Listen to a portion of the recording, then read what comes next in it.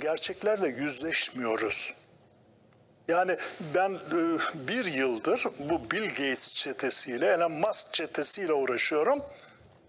Siz birlikte uzay seyahati yapmaktan söz ediyorsunuz. Yapacaksanız da bunu en azından bu şekilde deklare edemezsiniz. Mecbur kalmışsanız yapacağınız başka şeyler de var. Yani bunun altından kalkamazlar.